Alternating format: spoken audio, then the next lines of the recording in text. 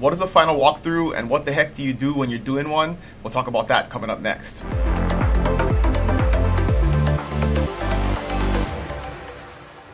Hey, what's going on friends? One of the last things that you do in a real estate transaction is a final walkthrough. And the important thing to understand here is, although that's pretty customary across all real estate transactions, what exactly happens and what the legal ramifications are, the contractual ramifications are, can vary from state to state based on your contract.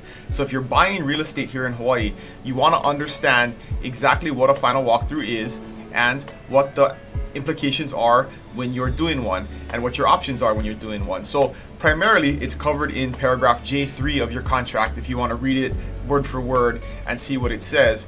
But basically what the final walkthrough does and the, the purpose it serves is that you are verifying the condition of the property, that it is the same as it was when you did your inspection of the property. And if there were any repairs that were negotiated or agreed upon, that those repairs were completed. So you're basically making sure that the, the, the home's condition is what you expect it to, to be based on the inspection or the repairs that were requested and agreed upon. The important thing to understand here is that it is not a time when you can change your mind and cancel.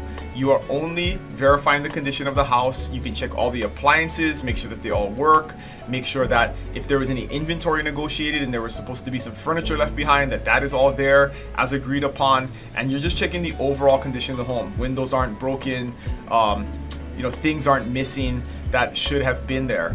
And so this is not a time when you can decide I no longer like the house and I want to cancel or I don't like the paint color on the interior. I want to cancel. You cannot cancel based on this paragraph. It is simply to verify condition.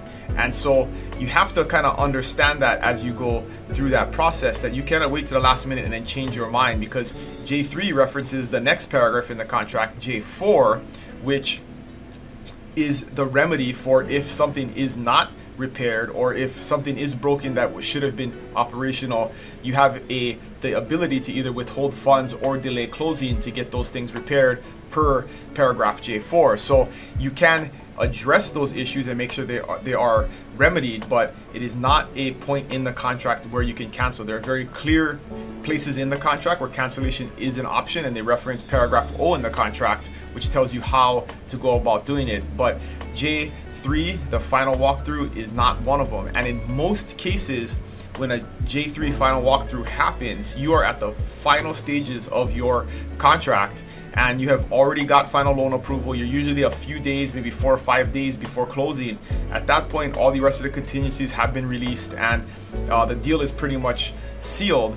And so you cannot really change your mind and not put your earnest money at risk or have some potential legal ramifications going forward if you just decide to cancel based on the final walkthrough. So just wanted to clarify that and make sure that is understood very clearly so you don't run into a situation where your expectation is different from what the contract says. So as always, if you have any questions, you can put them in the comments below or reach out to me at dylan at buybigisland.com. And if you want to talk about your plans or have any questions, you can always book a meeting at the Calendly link below.